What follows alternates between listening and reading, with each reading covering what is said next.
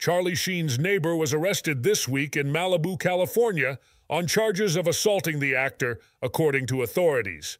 Electra Schrock, 47, faces allegations of assault with a deadly weapon, force likely to create bodily injury, and burglary, as stated by the Los Angeles County Sheriff's Department in a Friday statement. Law enforcement responded to a battery disturbance call at the residence on Wednesday afternoon. Scheduled to appear in court on Friday, Schrock had not received any immediate response from representatives of Sheen regarding the incident. Sheen, 58, renowned for his role in Two and a Half Men and notable films such as Wall Street, The Three Musketeers, and Major League, informed authorities of prior issues with Schrock.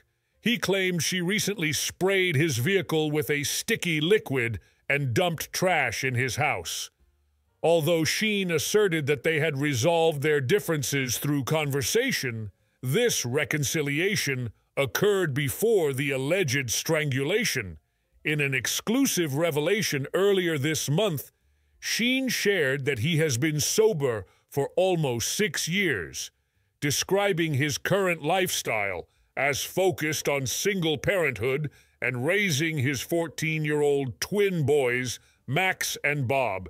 He attributed his decision to quit drinking to a pivotal moment.